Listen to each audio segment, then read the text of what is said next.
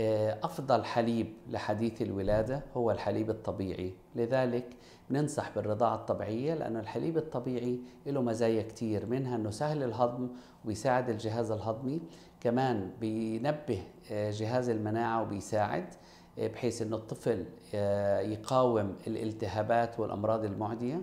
كمان بيحمي الطفل بالمستقبل من أمراض مزمنة زي السكري والضغط وأمراض القلب. كمان بيطور الذكاء عند الطفل.